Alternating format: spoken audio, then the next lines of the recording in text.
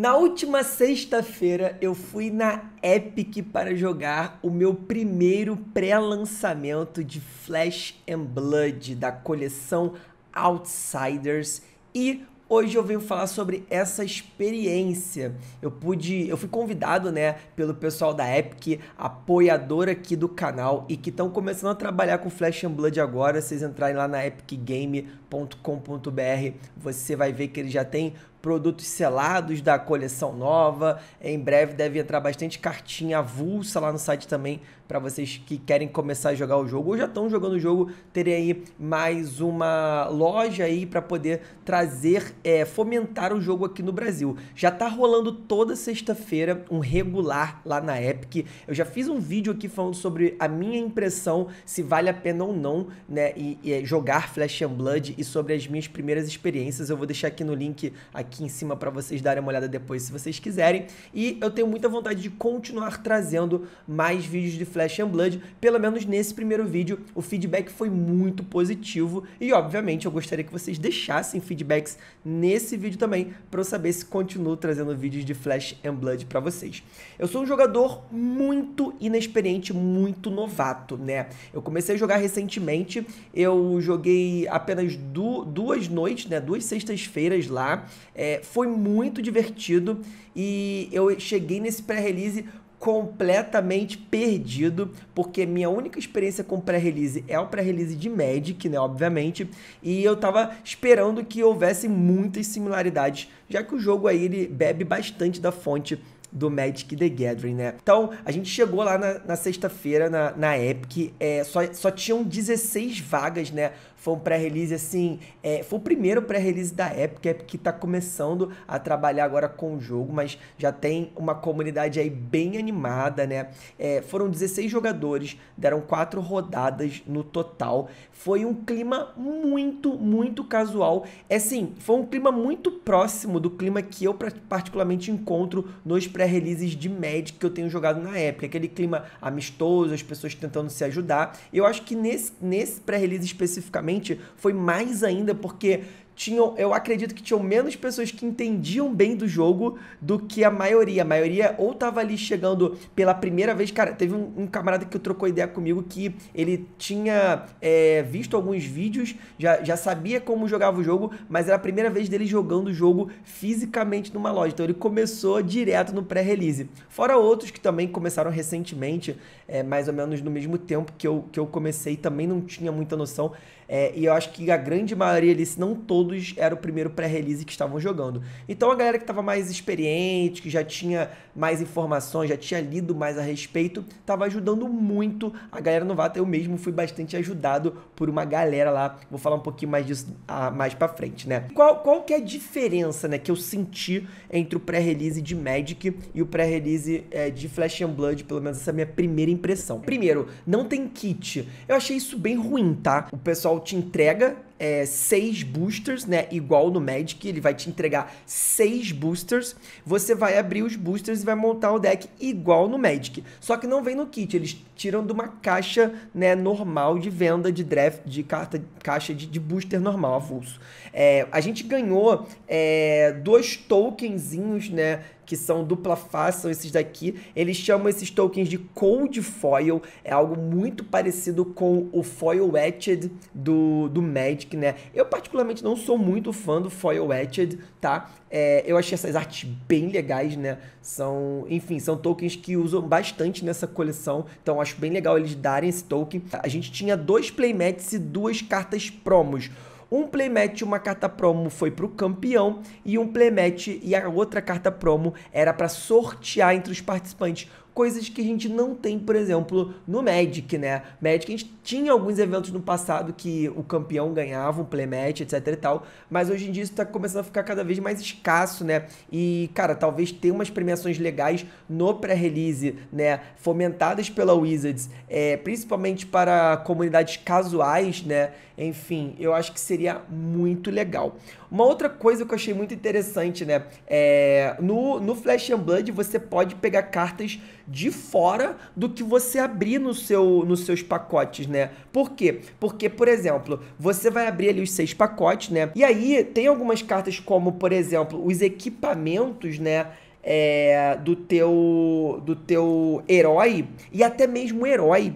Se você não abrir, você pode pegar de fora do jogo com outras pessoas ou com a própria loja, porque são tokens na verdade, né? Esses equipamentos e, e os próprios campeões são tokens. É, nessa coleção, se eu não me engano, acho que eram quatro campeões. É, quatro ou cinco campeões, ou seis, enfim. E aí, cara, eu achei, assim, uma, uma parte que eu achei ruim, né?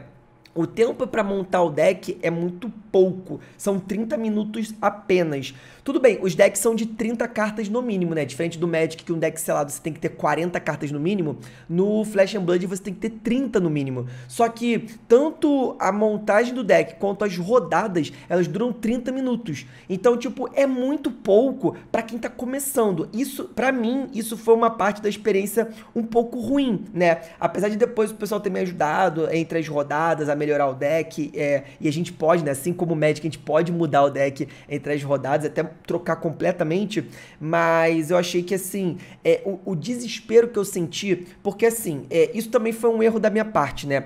Eu não estudei absolutamente nada sobre a coleção. Eu cheguei na loja para jogar e descobrir as cartas na hora, não conhecia sinergia, não conhecia a carta, nada.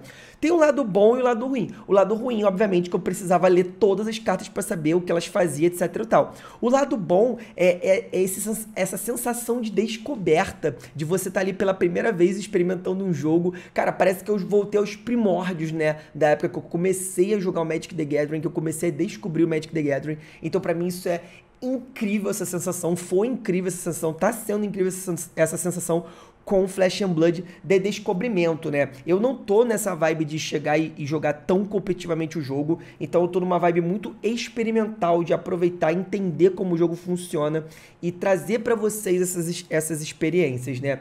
E aí eu acabei escolhendo minha heroína, a Azalea ou Azalea, né? Que é uma Ranger. Tiago, por que, que você escolheu ela? Cara, a, a, a resposta é muito fácil, muito óbvia. É, eu tenho jogado de Lexi, né? Que é uma. Também uma heroína de, de. É uma heroína Ranger também. E elas têm uma mecânica, é, uma ideia, um conceito de mecânica bem, bem parecidos, né? Que é a questão de você colocar flechas e atirar flechas. É óbvio que quem manja de Flash and Blood vai saber que, tipo, na, na gameplay real a jogabilidade é completamente diferente, mas no conceito geral macro é, é, são parecidos. Então, é, a familiaridade de já, já jogar de Lex me fez querer jogar de Azalea. Não era o personagem mais forte, como muitas pessoas me falaram, é, mas era um, uma, o, o, herói, a heroína mais fácil é, para mim montar. Eu errei bastante em jogadas depois de várias, é, várias, várias rodadas, né? Eu fui aprendendo ali, as pessoas foram me dando algumas dicas, eu fui prestando atenção em várias coisas que eu tava errando. Uma, uma coisa principal, por exemplo, o Magic que eu tô acostumado a sempre que eu ganho na, no sorteio, no dado, na moeda, no paro ímpar, eu sempre quero começar. Quase nunca, assim, quase nunca eu quero ficar eu quero ficar na draw, né? Com, começar comprando ao invés de começar jogando. Já que no Flash and Blood, principalmente pro deck que eu tava jogando, a galera me falou que, cara, valia muito a pena começar é, em segundo, não começar jogando. E eu acabei ganhando das quatro rodadas que eu joguei. Eu ganhei três, o sorteio da moeda, e eu acabei pe pedindo para começar em todas. E aí, cara, foi foi o que eu mandei mal, né? Eu deveria ter pedido para começar em segundo, mas é uma coisa que eu vou aprendendo, né? Outra coisa muito bacana, né? É, tive a oportunidade de jogar a primeira mesa com o Elba, e aqui eu quero deixar uma denúncia, tá? Para vocês que conhecem o Elba do Fazendo Nerdice, tá? O Elba, quando a gente acabou o nosso jogo, o Elba, o Elba me ganhou, né? Quando a gente acabou o nosso jogo, ele me explicou o que, que as minhas armas faziam, porque eu não tava usando elas do jeito que eu deveria, tá? E aí ele me mostrou como é que elas faziam, etc e tal. E aí, beleza beleza. Eu falei, pô, legal, bacana, obrigado, Elba. Pô, tamo, tamo, tamo nessa, é isso. E aí, no, no, duas rodadas depois, eu enfrentei uma pessoa que a pessoa sabia jogar e ela me explicou antes de começar o jogo como que minhas cartas funcionavam. Ela chegou e me deu vários toques, várias ajudas antes de eu começar. E aí fica essa denúncia aqui, valeu, El? Eu peguei o Elba na primeira rodada, eu sem saber o que estava fazendo, sem conhecer as cartas, o cara esperou me ganhar para me ajudar. Enquanto lá na terceira rodada eu peguei um camarada que antes da gente começar a jogada, ele olhou minhas cartas e começou a me dar várias dicas de como jogar com deck. Ó, senhor Elba, ó, ó, aqui ó. Essa amizade está por um fio, hein? É isso. Mas brincadeiras à parte aí, galera. Foi, foi muito divertido é, o, o jogo, cara, a experiência. Eu espero muito que a Epic continue, continue produzindo né, eventos, continue produzindo ações junto ao Flash and Blood, continue trazendo o jogo. Eu acho que ainda são poucas lojas que a gente, a gente ainda tem pouco acesso ao jogo e por isso que eu acho que o jogo tá tão caro. É, mas assim, eu no final do evento dei uma, cara, um suspiro de alegria. É, o último menino que jogou comigo, né, o meu último oponente, é, ele me massacrou. Ele era o único que eu peguei que tava jogando de Azelia também. Todos os outros estavam jogando com outros decks muito fortes. Ele é o único que tava jogando de Azelia. E ele me destruiu jogando de Azelia, me mostrando como que eu tinha que ter jogado o, todo, toda a partida. Inclusive, se eu tivesse pego ele na primeira rodada, eu acho que eu teria dado mais sorte. Eu acabei assim, é, o meu, minha, meu recorde foi, foram quatro rodadas, né? Eu perdi a primeira pro Elba, eu ganhei a segunda, empatei a terceira e perdi a quarta. Mas a quarta foi muito boa porque ele, além de me mostrar como que se joga com esse deck, ele me deu várias dicas também para jogar com a, com a Lex, né? Que é o deck que eu tô jogando aí no Blitz. E, e ele me falou, inclusive, que ele está montando aí versões, testando várias versões que não são caras, que não usam os equipamentos mais caros, que é uma coisa que para mim foi uma barreira, até agora tem sido uma barreira, e que talvez semana que vem, se ele colar lá na Epic e eu colar também, ele vai me dar algumas dicas, inclusive para melhorar o meu deck de Lex e isso me deixou muito, muito animado, tá? É, coisas que eu acho que eu vou fazer pro próximo pré-release, obviamente eu quero participar de mais pré-releases. É, estudar a coleção antes, assistir, tentar procurar vídeos, né, de guias, de dicas para pré-release de Flash and Blood antes e ir um pouco mais preparado. E isso aqui é até uma dica que eu já dou para vocês. Se vocês estão é, começando a jogar agora é, ou querem começar a jogar antes do próximo pré-release para poder já estar tá, é, entendendo um pouquinho do jogo e, e, se divertirem, a minha dica é, cara, estudem. É a mesma dica que eu sempre dou pro Magic, cara. Estudem a coleção, deem uma olhada, entendam um pouquinho das sinergias, tá? E eu eu, eu vi que muitas coisas do Magic muitas ideias e conceitos do Magic dá para se adaptar pro Flash and Blood e tem muitos outros que não e que o Flash, Flash and Blood é completamente único com relação a isso e eu quero muito poder estudar um pouco mais e contar com a ajuda de alguns amigos, né? É, tem, tem o, o Jesus lá da, da Epic que inclusive foi o campeão do pré-release, né? É, ele tá me ajudando bastante, eu sempre que eu tenho alguma dúvida eu pergunto para ele e eu espero trazer em breve aqui algumas dicas e guias de Flash and Blood eu com certeza é, sei que posso contar com ele, por exemplo, e com outras pessoas, o Briller também da comunidade do Diário Planinalta, que vai jogar o, o, Pro Tour, né, lá nos Estados Unidos, o próximo Pro Tour de Flash and Blood. Então, assim, eu quero muito trazer para vocês mais vídeos e eu queria saber o que, que vocês acham. Vocês querem ver algum, alguns guias, algumas dicas? Quais as dúvidas vocês têm com relação ao jogo? Vocês querem ver um guia de pré-release para o próximo é, pré-lançamento, para a próxima coleção? Deixa nos comentários todo o feedback de vocês é muito importante para eu continuar trazendo esses vídeos para vocês, beleza? E se vocês já jogam Flash Blood, querem ver aqui um produtor de conteúdo de Magic fomentando mais aí a comunidade Flash Blood também, não deixa de dar aquele likezinho aí no vídeo e se inscrever no canal. Quem sabe a gente começa a fazer mais e mais vídeos aqui, beleza? Espero que vocês tenham curtido. É, lembrando sempre, né? Não esqueçam que a Epic Game agora está vendendo Flash Blood, tem o link deles aí na descrição clica e dá um pulinho lá. E eu digo mais, hein, rapaziada. É, a gente tem parceria com a, com a Epic no Magic.